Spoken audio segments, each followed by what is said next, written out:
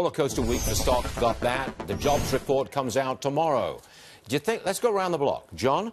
If I, I think it's going to be a fairly strong report, 200,000 jobs plus. Will that put a bottom under the market? I don't think so because we have, a bottom right now. This uh, Christmas looks to me like to be the biggest Christmas in history. We have low unemployment. We have uh, consumer confidence 18 year high. Wages are up. We have great things to buy from the big tech companies. I think we're the biggest Christmas in history. Apple could have a $100 billion quarter if they exceed their $93 billion top end revenue estimate. However, it's what happens going forward, and that's what people are worried about. People are worried mm-hmm. about Brexit. People are worried about the trade war. People are worried about rising interest rates.